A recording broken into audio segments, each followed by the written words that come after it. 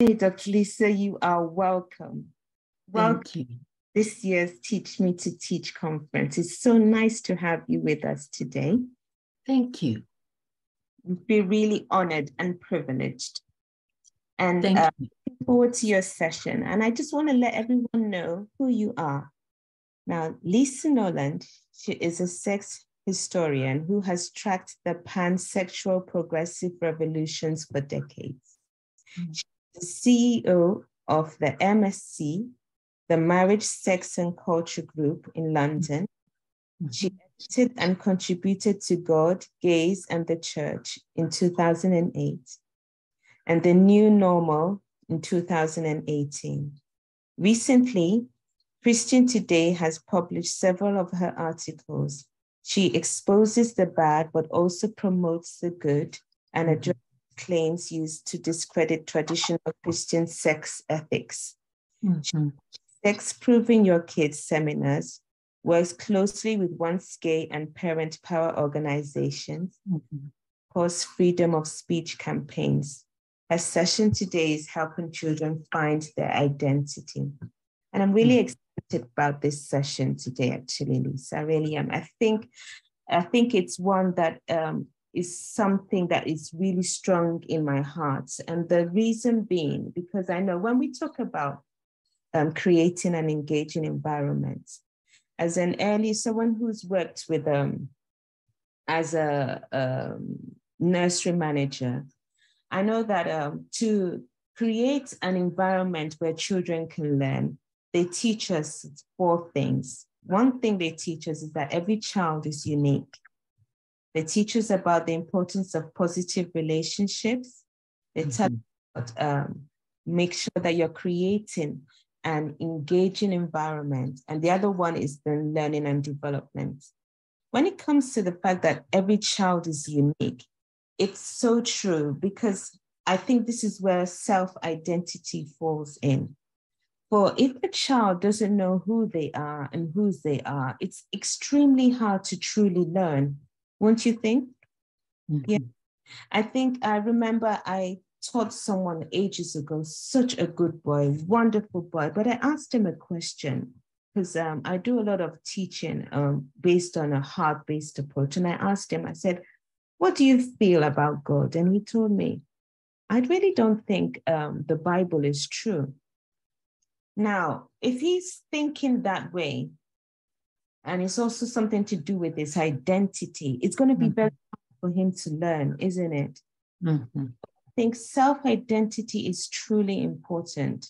Um, it's important for our children to know um, that they have strengths that were God given, and also to understand that, you know what, um, they were made and created by God for a purpose. So I love your session. So welcome, welcome, welcome.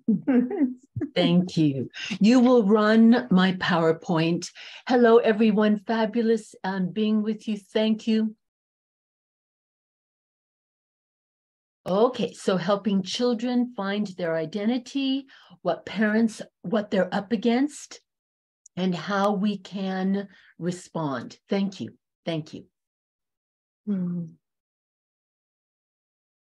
Okay, so um, people, th there's a ton to talk about. This is the PowerPoint. If you want more, you uh, contact Karen. That's fabulous. She has it, or contact me. Karen is the best first person here, but I will go through identity, personal, rationale for why I'm focusing things as I am, insidious influences, upping your game and what adolescents especially need to know.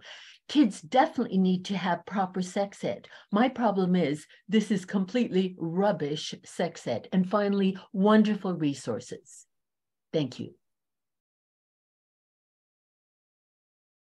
Okay, so in terms of identity, okay, um, and that's a huge word. uh, there are various factors in identity formation, um, which simultaneously and often, sorry, I'm going to just get rid of that. Here we go. Uh, simultaneously and often subconsciously interact. There's biology, there's psychology, there's individual experience. There are relationships with parents, siblings, and wider family, including birth order, etc. There is school and church input, peers, media, and the internet, local, regional, and national cultures, etc. Thank you.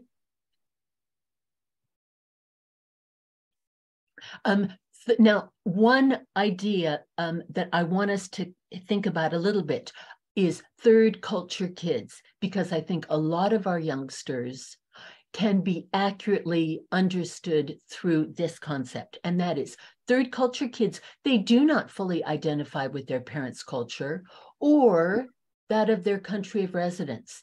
Instead, they create and inhabit a third culture, though parents often fail to realize it. Sadly, oh, it's just a phase. Okay. And uh, each of the above, they deserve an entire session. However, what I see as the most serious threat is that of the pansexual woke revolution and strategic responses. And sorry, I will just start you off. Thank you. Great.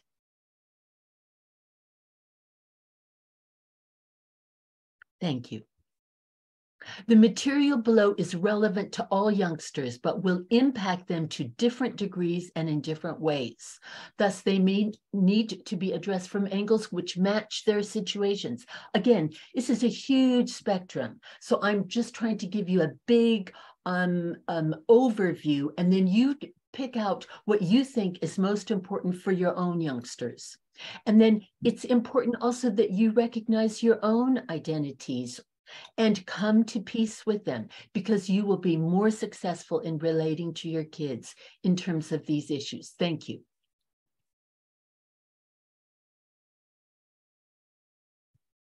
Okay, so me personally, yes. Okay, so I'm married to a poor, long suffering man.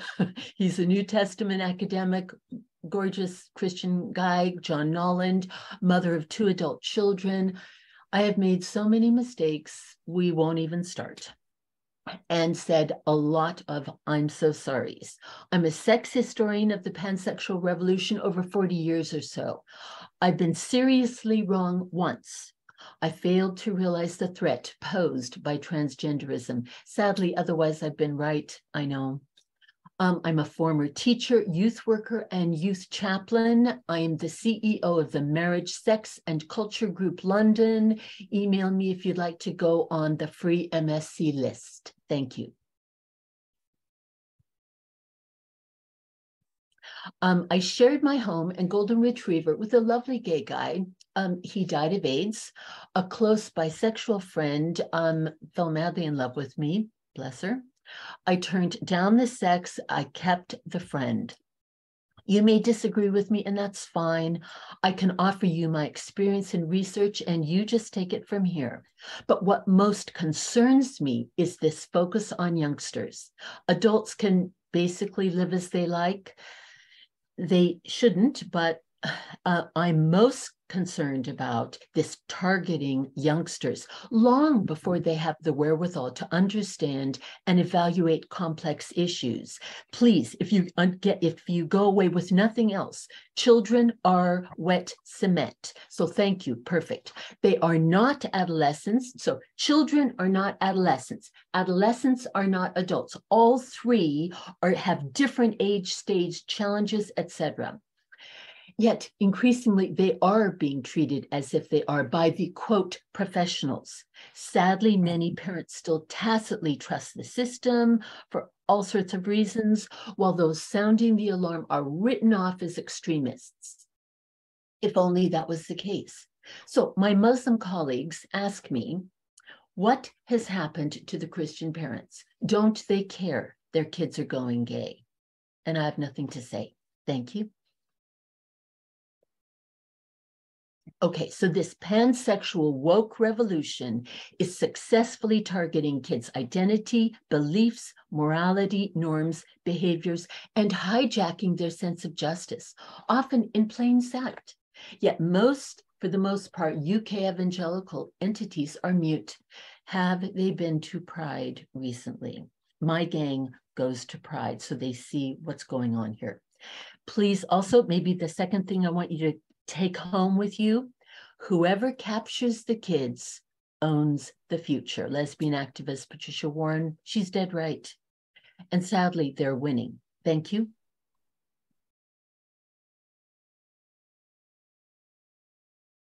Okay, they, um, in my view, many youngsters are changing their identity, morality, and sex ethics, but because of successful self-censorship, only their peers know. And mm. to be mm. fair, let's think about it. How much did we tell our parents when growing up? Mm. It's far worse now, however. Youngsters are being duped by anti Christian, plausible, but hollow claims, false assurances, and counterfeits, some serious, life altering, and or irreversible. They will pay in ways the adults foisting it on them will not. Um, and just a, a quick uh, uh, vignette here that just says it all. Okay, so maybe three, four years ago, I was on a radio station being interviewed by a kind of trendy 40 something year old and his little 20 year old um, PA. So it's late at night. Uh, alternative part of town, etc. Well, I had come on expecting to be asked about ABC. He ended up grilling me about XYZ. It was awful. Um, and I felt like I had completely failed. He stands up, kind of, you know, progressive, trendy, what's wrong with a little bit of naughty fun sort of approach. Stands up afterwards, leaves in a huff, very unhappy with me. His little 20 year old um, PA turned to me and said, You know, I actually agreed with quite a bit of what you said. And I went, Really? You're kidding. Why? She said, Well, one of my friends has herpes, and it's been a complete game changer for the worse. And the rest of us are just trying to find a normal guy to have a normal relationship with. And we can't because they are all into doing stuff. See, the 40 year old would never take his own advice about exploring your sexuality. The 20 year old and her friends were of the generation that are taking this advice and are paying for it. And to me, that feels very unfair, very wrong, and why we need to up our game. Okay, and though I'm t- I touch on transgender issues, that's a huge, huge area here. Please email me if you want to know more in terms of specific um, responses. That that's kind of a world unto itself. Thank you.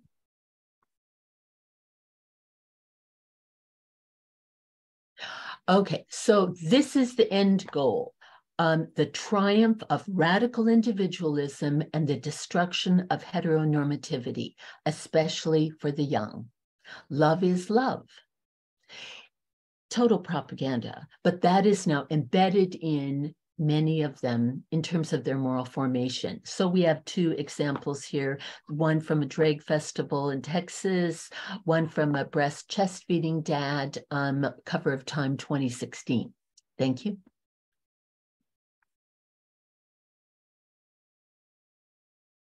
Okay, where is the church?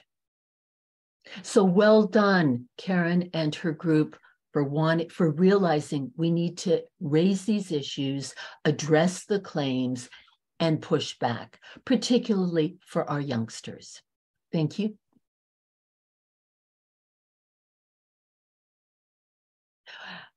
And oh, fine. Uh, sorry. So we can. Um, uh, the last one was Dorothy. Um, to realize, see, this is in many ways we need to up our game we're not in Kansas anymore. It's not the same as when we were growing up, going through adolescence, etc. There are similar, I mean, some is the same, but quite a bit is quite different. Thank you.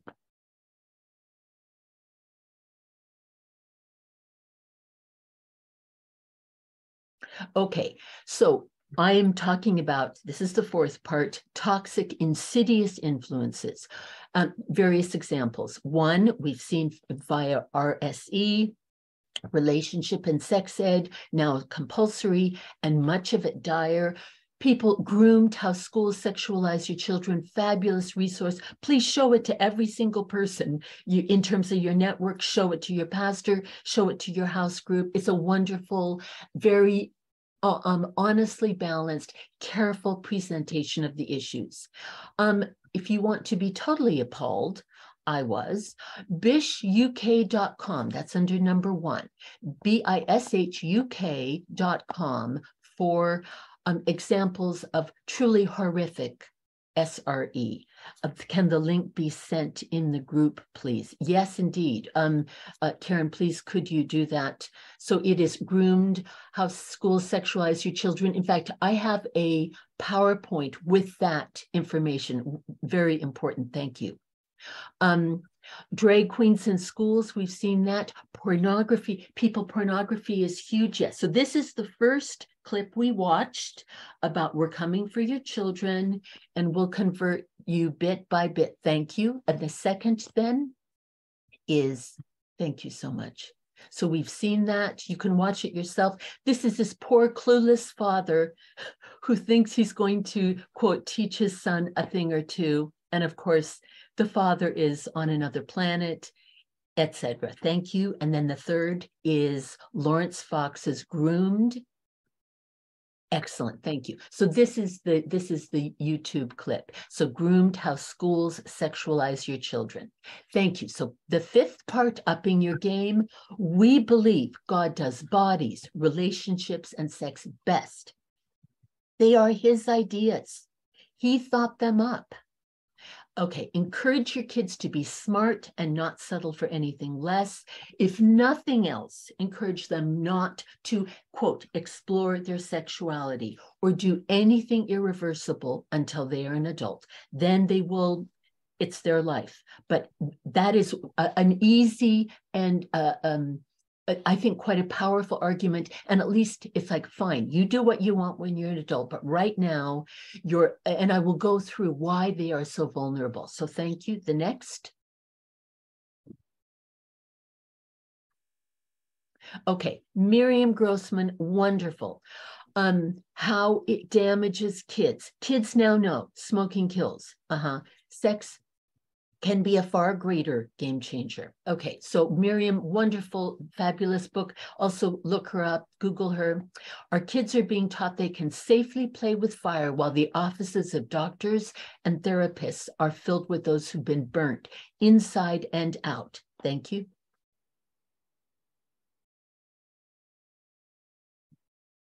Most kids now, smoking is bad, sad, and stupid even more so with sex. So encourage them to be smart. Many kids would long to be uh, um, holy, virtuous, good, whatever. But when they're at a party, when all their friends, quote, seem to be doing it, etc., oftentimes the religious convictions just fall away. So, in my view, you encourage them to be smart. Like, fine, if you're going to do that later, but don't do it now because you will pay for it. Thank you.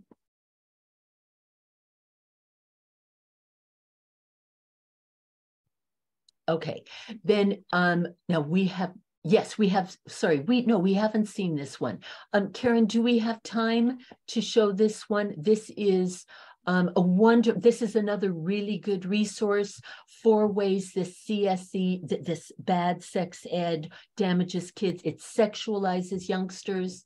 Do we, you want to, I don't do think we have that? much time. We've got eight more minutes. So is there okay, anything you want to oh, say? They, that's fine, dear. Can I go back to my PowerPoint? Mm. Thank you so much. Fine. It sexualizes youngsters, it threatens their health, it promotes a dangerous gender ideology, and it undermines the parent child relationship. So, upping your game.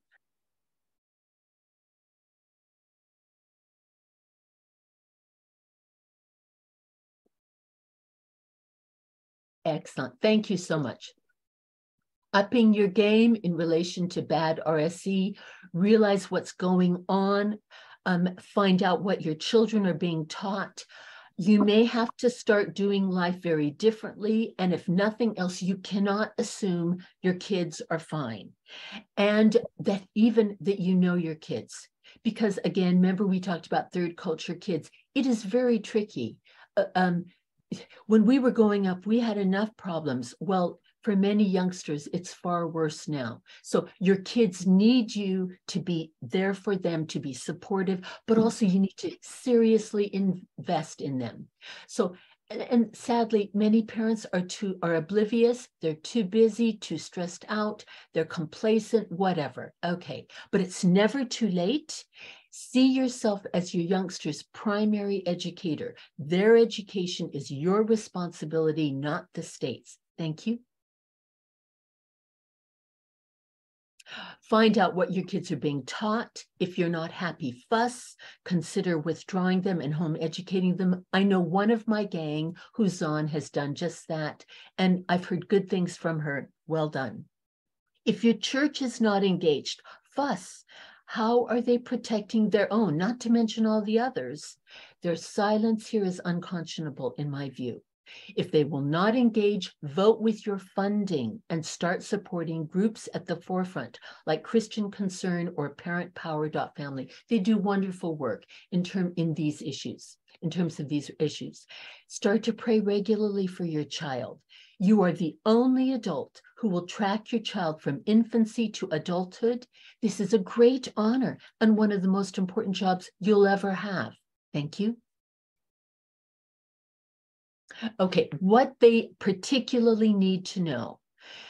Girls are three times, sorry, boys are three times and girls six times more likely to be diagnosed with an STI than their adult counterparts. So then when they grow up, yes, they'll have risks, but they're far more at risk now. Sex has a greater impact on the teen than on the adult body.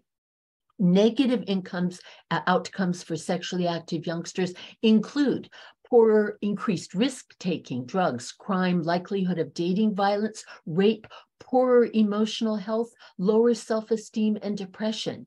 And what's even worse is teens often believe they are well informed and fully capable of making wise, mature decisions, which they are not. I could talk all day about that. They are thus more vulnerable than their adult selves will be. Thank you. Okay, so you, we see the age stages. Again, children are not adolescents, adolescents are not adults. Thank you. Okay, um, just a few ways, a few things your kids need to know the teen limbic system, that's right here in the middle, the brain's reward pleasure center appears to be fully developed, but not the PFC, the prefrontal cortex, the center of reasoning, judgment, goal setting, impulse control, delayed gratification. Teens are not mature, and yet they believe they are. Surging hormones seem to alter the levels of dopamine, adding to teen tendencies of thrill and novelty seeking and risk taking. And to note, traffic accidents are the main cause of death among 15s to 29s. They will take, they will make stupid decisions at the on the spur of the moment not realizing the consequences or maybe partially realizing but they do it anyway again because this the pfc is not fully mature Girls also have one layer thick cervixes, which contribute to their high STIs, and chemicals released in the brain during sex can become addictive and bond. They glue partners together, which is why breaking up can be so hard to do. Thank you. Okay, Wonderful. Excellent resources. Um, Teen Sex by the Book, um, uh, Kuby's Global Sexual Revolution, and two fabulous um, uh, resources in terms of ex-gay, Core Issues Trust, the IFTCC. Thank you.